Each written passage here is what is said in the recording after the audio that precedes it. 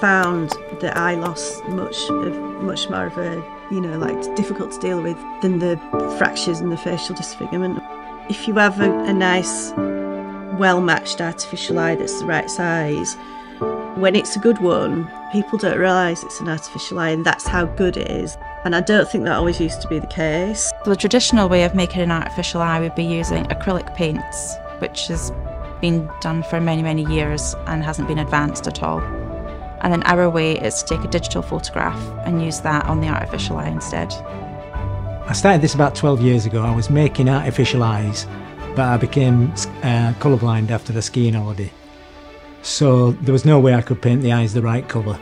So I decided to use digital photography uh, so that I didn't have to mix any colours because I was going to get them wrong. Makes it more realistic, more vibrant. We're taking a photograph of the living eye, so it should be exact.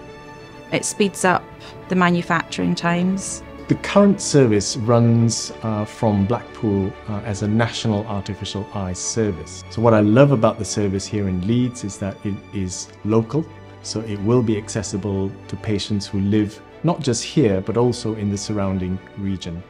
We estimate there's four to 5,000 patients that would need artificial eye appointments. So the potential for the service to impact on those patients is huge.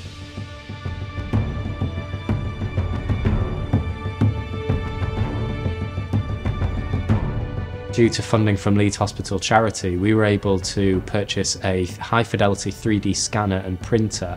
So, what that means is if a patient happened to lose an eye or wanted a new eye, we have a, a digital version of it, if you like, stored in our network so that we can print it off without the patient having to come into hospital and without them having to undergo the invasive procedure of having another impression taken of their eye socket.